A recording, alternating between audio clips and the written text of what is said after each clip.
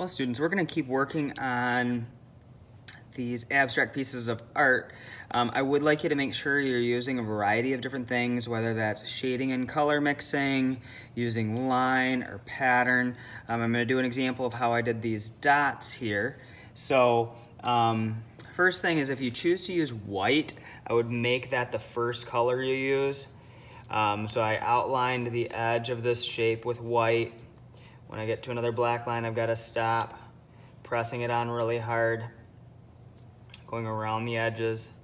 And then I first made white dots so that I could do a small dot and then I made a big dot, small dot, and then I made a big dot, small. This one's big, so then this one was small, and that one was big. Then I press the color on hard and you can see that some of my blue is mixing into my white because I've already done it, but I tried to use my white first so then I didn't end up having my blue smear in my white. So always white is first, press that on hard. Then what I did once I made white dots, then I did a darker blue around them and keeping my finger really low on the crayon so I don't break the end off. And then once I do,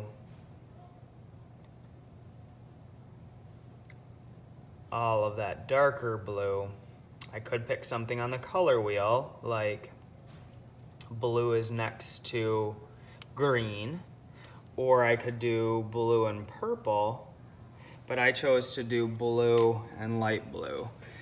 So I'm gonna press that on. I could always mix a little bit of white into that blue when I'm done. But please remember to press that color on hard. It takes a while to do.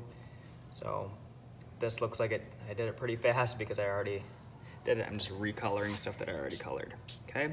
So that's an example of a dotted pattern. Um, let's do an example of a spiral also, since I haven't done um, a spiral yet. So I haven't really used a lot of pink, so that would be a new color to use. I'm gonna do this spiral kind of starting around this dot, but remember that you gotta find the shape first. So I'm gonna go up here, trace around my shape, pressing it on hard.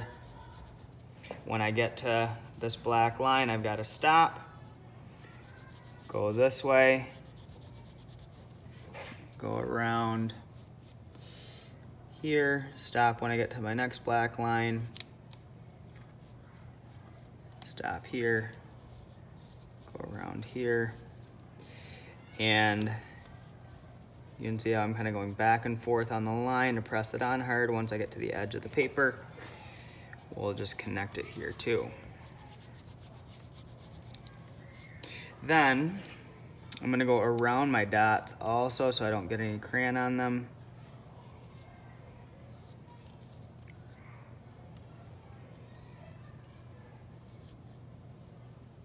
Okay. Now that I've done my pink, I'm gonna do pink and I'm gonna create a spiral. Spiral is really just like a circle. So I'm gonna go around, but I'm gonna leave enough space to be able to put it, probably two more colors inside it. So I'm gonna loop it around, starts here, go around here, I usually kind of sketch it on kind of lightly first. Then I'm gonna press it on harder. So if I make a mistake, I can change it. So I'm gonna start to do it a little bit lighter as I go here. So it kind of comes up here, so I've gotta continue it here. Then it would go around here and up here continues around. It would be over here. Then it's gonna continue around here go all the way around. It just gets bigger and bigger. So here is a, a circle. So I'm just really kind of thinking, well, how would it go? Oh, it's gonna come here. And go around here, and then I've got one more dash, okay? So now I've got these in here lightly.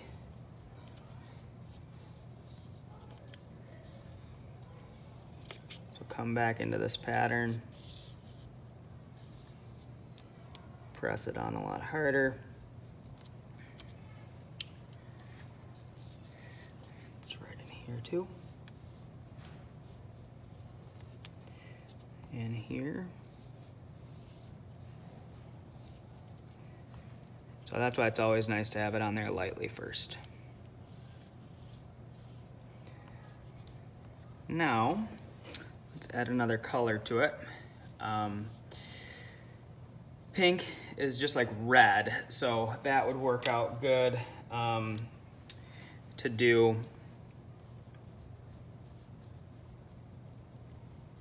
maybe a red or reddish purple next to it. And that looks nice because it's like a it's a it's darker on this lighter pink.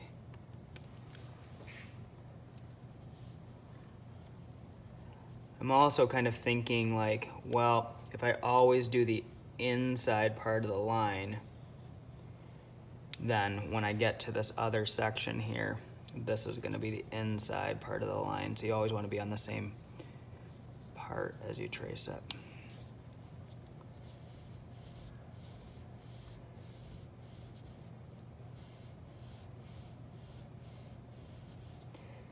And then I have all these open spaces. I'm not gonna color all of it right now, um, just so you guys have more work time. But inside this space that's left, I could pick another color to do. Um, I haven't used really any of this peach color. Peach is like another version of pink. So I could use that as my color to fill this in. Orange could be good. So I'd take that and fill in the other parts of my paper. I mean, I, am realizing that does look a lot like what the paper already is. So maybe instead of that, I'll go with orange. To make that look like it's a new thing. So it's nice that was a lot like the other color I'd already done. So then I can just change it. Yeah, I think that orange looks brighter that looks better. So then I would continue that all the way to the inside here, just making sure not to cover up the lines that I've already done. Following my spiral around, okay? So let's just pretend that shape is done because I've got to go all the way over here too, okay? Another shape that I wanted to show you um, for students who are doing um, a black, gray, white mix. Um, if you do want to do a shading example of black, gray, and white, always use white first. And just find this shape.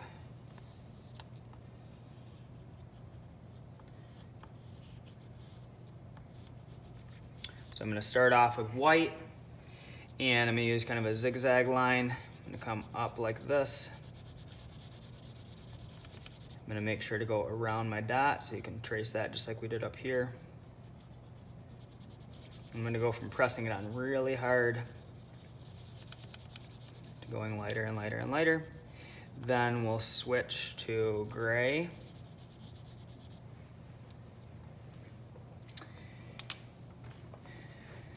And then I'm gonna put that on, overlap it into my white a little bit. Don't cover up all your white.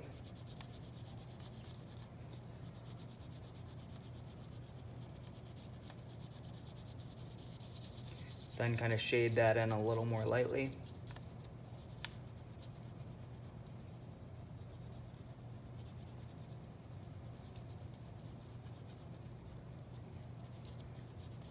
And then we'll move that into some black.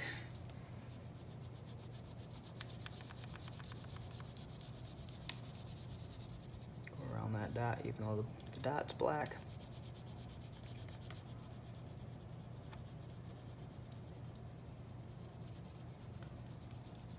And I could fill the rest of this with black, Um, if you don't want to do that, then you could go, um, maybe I will back out of this pattern and then go from um, white, gray, black, back to gray to white. Now this is not colored in very well, kind of like I did with my spirals. I just kind of sketched it in a little more lightly to make sure that the pattern and everything would work out okay. Now I'm gonna go back using more pressure and color this in again. So we'll use a little more gray down here. Put a little more white into this. So don't be afraid to go back and color something again that you've already colored to make sure the shading and color is the best that you can do.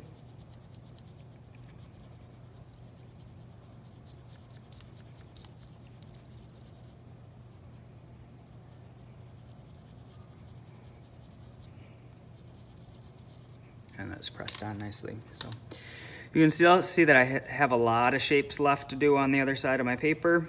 We will work on these again next time to finish up the last few shapes. So um, don't feel like you need to get it all done today. We'll work more on them next time. Just finish up the last little bit. So let's have fun working on this abstract art.